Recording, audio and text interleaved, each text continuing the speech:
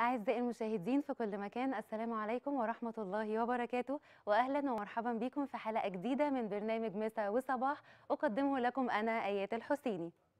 أحد الصحابة كان رايح يصلي ورا النبي صلى الله عليه وسلم صلاة العصر وهو في طريقه للمسجد شاف واحدة فقبلها. فجأة ضميره صحي وفاق بسرعة وراح يصلي ورا النبي صلى الله عليه وسلم دخل المسجد اتوضى وصلى. وبعد الصلاة راح لسيدنا محمد وقال له على اللي هو عمله أثناء مروره في الطريق إلى المسجد.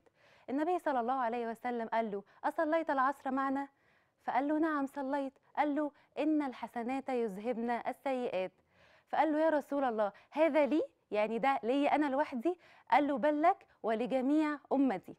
دي بشرى من سيدنا محمد صلى الله عليه وسلم لينا إنه مهما كان الذنب صغير أو كبير دايما ربنا غفور رحيم ودايما الحسنات بتذهب السيئات. مجرد صدقة مجرد عمل صالح نعمله. صلاة ركعتين توبة تغفر لنا ما كان قبله من أي ذنب. ده موضوع حلقة النهاردة عن التوبة وهيكون معايا شيخ الشباب الدكتور عمرو زكي. بعد الفاصل انتظروني.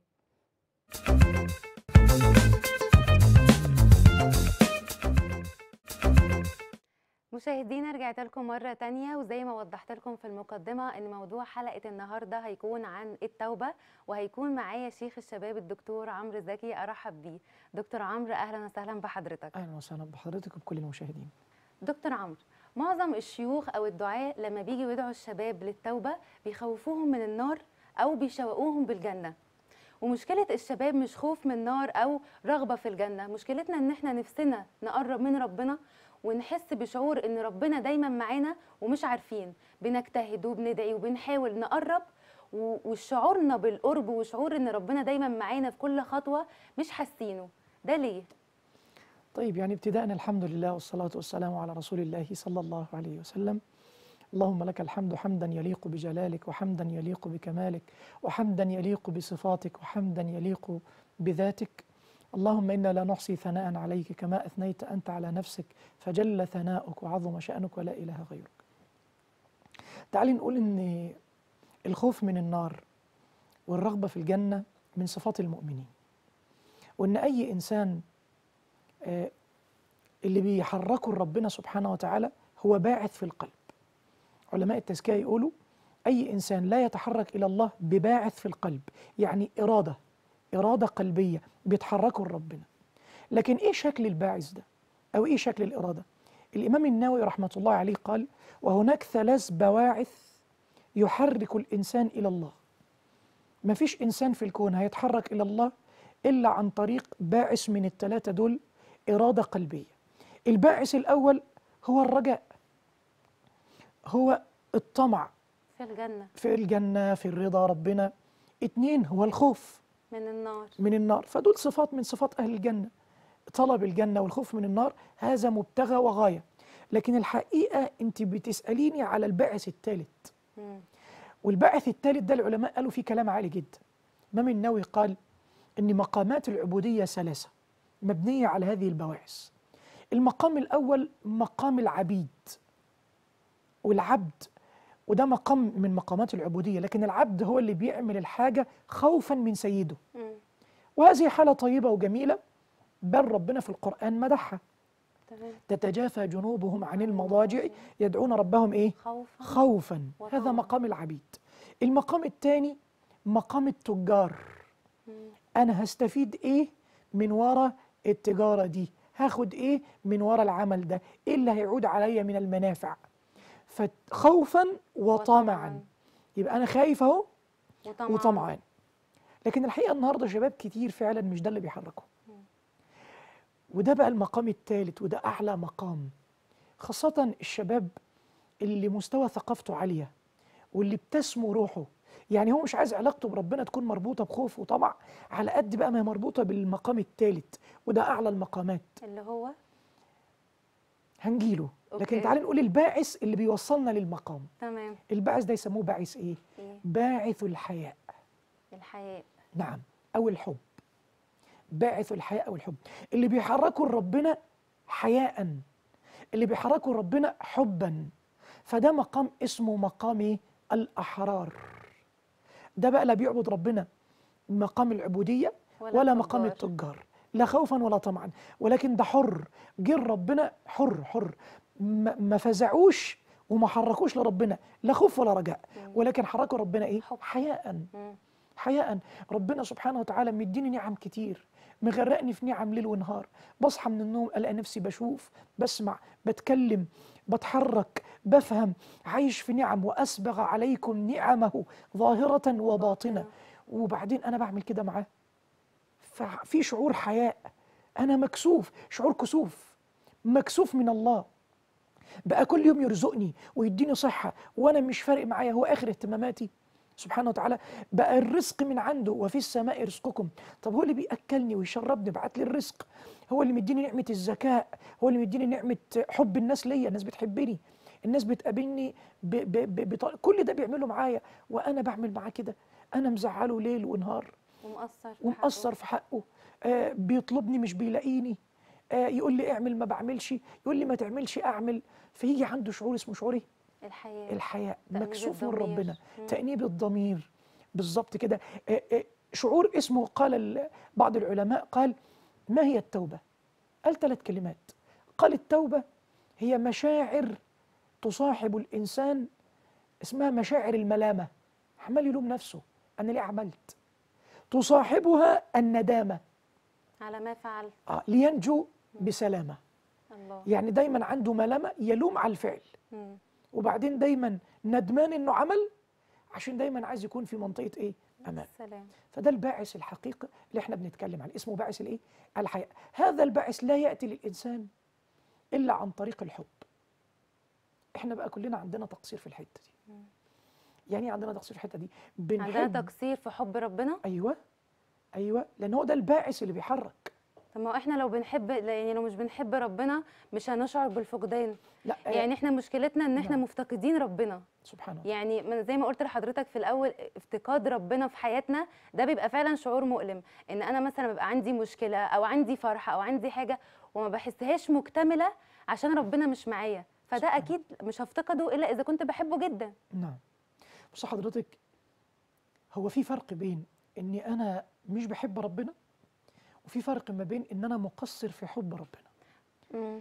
يعني هو كل ال- كل الناس جواها حب الله سبحانه فطرة. وتعالى فطرة لكن هو ربنا سبحانه وتعالى لا يريد حبه في قلوبنا يساوي أي حب آخر أو قبل أي حب آخر ربنا سبحانه وتعالى يريد منا أن يكون حبنا ليه مقدم على جميع المحاب. يعني ما فيش حب يسبق حب الله. ما في حب يسبق حب الله. لا حب زوج لا حب زوجة لا حب مال لا حب منصب لا حب. بوزيشن لا حب نفس. الله يفتح عليكي حتى نفسي. مش كده ربنا في سورة التوبة آية رقم 24 قال جل وعلا قل إن كان. وحط لنا ثمان حاجات. قل إن كان آباؤكم وأبناؤكم وإخوانكم وأزواجكم وعشيرتكم وأموال اقترفتموها وتجارة تخشون كسادها ومساكن ترضونها. لو الثمانية دول اللي هم أساس في حياتنا مين ما بيحبش الثمانية دول؟ مستحيل. يعني مين ما بيحبش باباه ومامته؟ مين ما بيحبش مراته؟ مين ما بيحبش أولاده؟ مين ما بيحبش بيته؟ مين ما بيحبش فلوسه. مين ما بيحبش سكنه؟ مين ما بيحبش عيلته؟ الثمانية دول اللي أنتوا بتحبوهم لو كانوا أحب إليكم من الله ورسوله. لو دول أحب لكم من ربنا وسيدنا النبي والدين وجهاد في سبيله فتربصوا يويلكم. آه، ده, ده, ده توعد.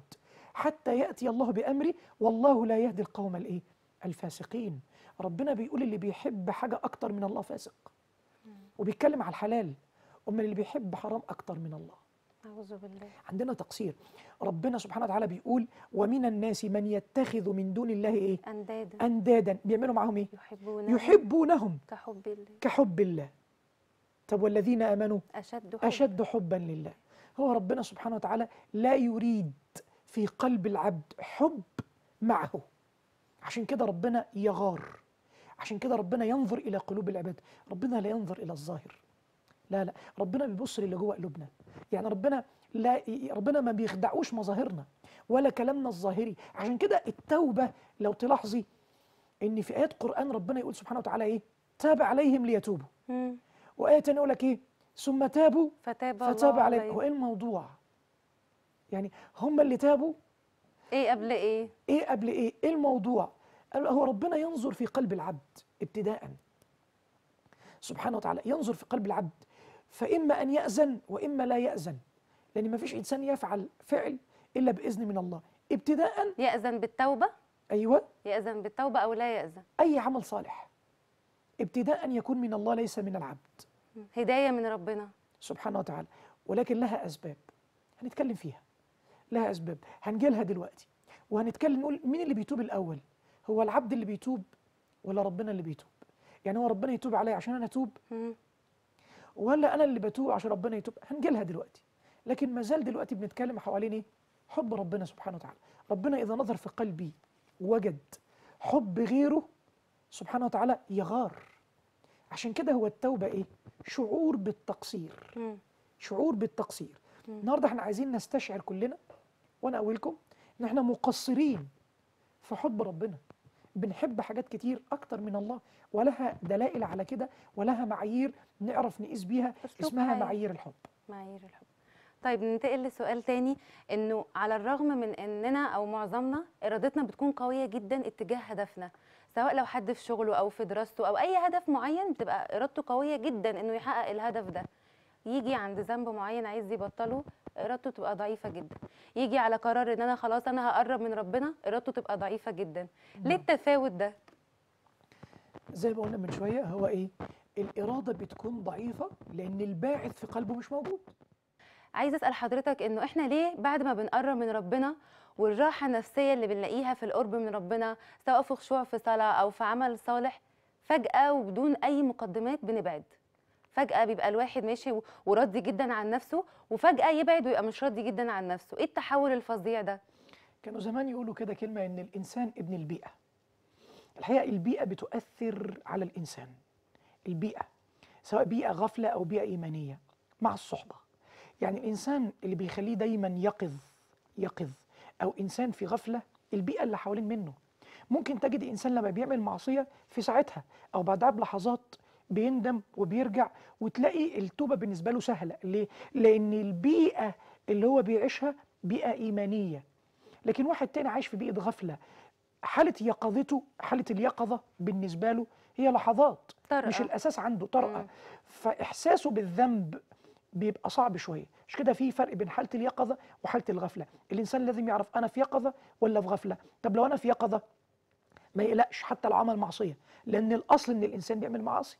قال النبي صلى الله عليه وسلم لو. لم تذنبوا لذهب الله بكم وجاء بقوم يذنبون فيستغفرون فيغفر الله لهم. يبقى الأصل أنا إنسان بشري أنا مش ملك ولا أنا شيطان. يعني لا أنا بعمل دايما طول حياتي الخير ولا بعمل طول حياتي الشر. أنا عندي خير وعندي شر. طبيعي ان أعمل معصية بس لما أعمل معصية وأنا يقظ فده طبيعي. فبرجع بسرعة وبفوق بسرعة. لكن ليه الناس ما بتفوقش بسرعة وما بيحسش بده؟ لأنه البيئة بتاعته بيئه غفله فهو أنا لازم يغير البيئة بالظبط. لازم يغير البيئة. أنا عندي دايما مثال في البيئة لو حبيتي نذكره في أقل من 30 ثانية. كنت بقول بالظبط زي واحد واقف في طينة وبعدين بص تحت لقى رجليه كلها مليانة طينة. فقال للناس بسرعة هاتوا لي مية انضف نفسي. فالناس اديته كده يعني خرطوم مية. وبعدين هو بيغسل رجله فطلع رجله الأولانية فنضفها وبعد كده قام حاططها تاني. قام مطلع رجله التانية قام منضفها قام حاططها تاني.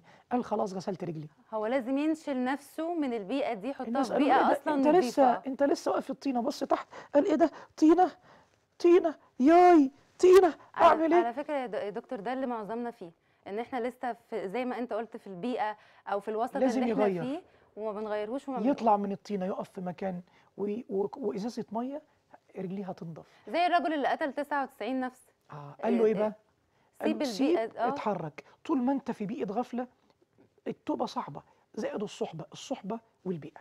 أوكي. وبعد ما بنبعد بقى عن ربنا بنلاقي معاناة شديدة جدا في الرجوع. نعم. وبعدين بقى بنبقى جربنا واتحرمنا. فالحرمان بيبقى مقرقنا جدا وأرهق نفسنا وفي نفس الوقت مش عارفين نرجع. ده إيه إيه الحل؟ المعاناة في الرجوع عن المعصية ممكن يكون آه، سببها حاجات كتير أسباب كتير جدا. لكن إحنا هنسال يعني هنقول على بعض ال- يعني الأسباب مش كلها كبعض أمثلة يعني. اكثرها انتشارا يعني. مم. ممكن يكون السبب الصحبة اللي حوالين منه. برضه الصحبة بقى هنا. مم. هو عايز يرجع وكل ما يرجع يلاقي صاحب بيشده. مم. هو عايز يقرب كل ما يقرب يلاقي واحد بياخده عن الطريق. فدي مهمة جدا. عشان كده النبي صلى الله عليه وسلم وصى بالصحبة. أذكر هنا برضو الآية واصبر نفسك مع الذين يدعون ربهم بالغداة والعشي. الآية دي نزلت في مين. حضرتك. سيدنا محمد صلى الله عليه وسلم ربنا بيقول لسيدنا النبي اقعد مع الناس الطيبين مم. مع الذين يدعون ربهم بالغداة والعشي. وربنا بيقول لسيدنا النبي ولا إيه؟ ولا تاخدوا عينك ولا تعد عيناك عنهم. تريد. اوعى تسيبهم. سبحان الله. أول ما تسيب الصحبة الطيبة تريد زينة الحياة الدنيا. يعني كان إرادة الدنيا سببها هو البعد عن الصحبة الطيبة. وبعدين قال له إيه؟ ولا تطع من أغفلنا قلبه عن ذكرنا. واتبع هواه وكان أمره فرطا يبقى أنا ليه أمري فرطه ليه في غفلة؟ الآية الثانية بتقول اقترب للناس حسابهم وهم في غفلة معرضون. معرضون. ما يأتيهم من. ذكر من ربهم محدث إلا استمعوه وهم يلعبون. يلعبون. يلعبون هنا يعني هم في أشغالهم في دنيتهم ما بيدوش أوقات لقلوبهم. فإذا سمع كلمتين ثلاثة برضه التوبة صعبة لأنه ما عندوش جلسة إيمانية ما عندوش وقت فيها يقعد مع ربنا يحاسب نفسه. فإما ما عندوش وقت المجالس علم ومجالس إيمان تفوقه يشحن قلبه. يشحن قلبه. كان عندنا برنامج هنا على الصحة والجمال السنة اللي فاتت اسمه اشحن قلبك. مم. كان اسمه كده اشحن, اشحن قلبك. شوية. مم. أدي واحد اتنين الصحبة اللي حوالين منه. تلاتة بقى إن قلبه حصل عليه ران من كتر المعاصي وعدم التوبة. في حديث جميل قوي للنبي عليه الصلاة والسلام. إذا أذنب العبد ذنبا قال الله للملائكة استروا عبدي عن أعين الخلق وحفوه بأجنحتكم فإن بنو آدم يعيرون ولا يغيرون. بني آدم لما بيشوفوا حد بيعمل معصية بيعيروه بالمعصية صح حقيقي مش بيغيروه ولا حتى بيساعدوه. بعد ما بيتوب. آه فاستروه قال فإن تاب العبد أنزل عليه ستر من ستر الله فإن لم يتب رفع هذا الستر. فإن فعل المعصية مرة أخرى رفع سترا آخر. فإن فعل المعصية رفع سترا آخر حتى خلي بينه وبين الناس يفتضح أمره. غير مسألة الطبع على القلب. إذا فعل الإنسان ذنب نكت في قلبه نكتة سوداء, سوداء. معصية نكتة سوداء. معصية نكتة سوداء. لما يكون عندك نكتة سوداء سهل تمسحيها. طب نقطتين. طب أربع نقط. طب القلب اسود. فالمسح بياخد فترة. لكن أنت ممكن تقولي بس مش حاسة بتغيير. لكن كثرة التوبة والاستغفار النبي قال حديث عجيب والله. أنا كل ما أسمعه أقول إحنا طب إحنا ماذا نفعل؟ قال النبي صلى الله عليه وسلم يا أيها الناس توبوا إلى الله. فإني النبي اللي بيقول صلى الله عليه وسلم أتوب إلى الله في اليوم مئة مرة. النبي بيتوب مئة مرة. مم. صلى الله عليه وسلم. عليه الصلاة والسلام. طب إحنا لما بنتوب من رب نتوب إلى الله سبحانه وتعالى نعم. ممكن رجوعنا ده يكون دليل إن ربنا ما قبلش توبتنا؟ رجعنا إلى الله؟ لا رجوعنا تاني للذنب. بعد ما تبنا رجعنا تاني. نعم. ده, ده ده ممكن يكون انه ربنا ما قبلش توبتنا؟ طبعا هذا كلام يعني لا يقوله عاقل. شكرا. ولو جه على مشاعرنا لا أنا بكلم شباب ساعات يقولوا الكلام ده. أنا عايز أقول أنت لما يجي لك كلام زي ده ده مش منك ده من إبليس. هو إبليس اللي بيجيب الخطيرة دي. آه مدخل الشيطان أيوه. أيوه إحنا عندنا حاجة اسمها خواطر الخير. وخواطر الشر. خواطر الخير بتبقى من ملك وبنسميها لمة ملك. وخواطر الشر بتكون من الشيطان واسمها وسوسة إبليس. في لمة ملك وفي وسوسة إبليس. إن شاء الله نبقى نعمل حلقة اسمها خواطر الخير والشر. وأعرف منين الخطيرة دي خير ولا الخطيرة دي شر. آه دكتور عمرو على الرغم من إن في ناس بتكون بعيدة جدا عن ربنا مش في بالها إن هي تتوب أصلا. إلا إنك تلاقي ربنا يبعت لهم آية أو يمروا كده بمجلس علم يسمعوه في حاجة تلمس قلبهم فيتوبوا على الرغم إن هم ما كانوش في بالهم إن هم يتوبوا. ناس تانية تدعي ربنا ليل ونهار إن يا رب توب علينا يا رب توب علينا وربنا مش بيستجيب. ده نرجع للي حضرتك قلته في أول الحلقة إنه أنهي الأول؟ إنه ربنا بيتوب علينا؟ يعني ربنا بيصطفي ناس يتوب عليهم فبيتوبوا؟ ولا أنا اللي بتوب الأول فربنا بيتقبل توبتي وبيتوب عليا؟ نعم.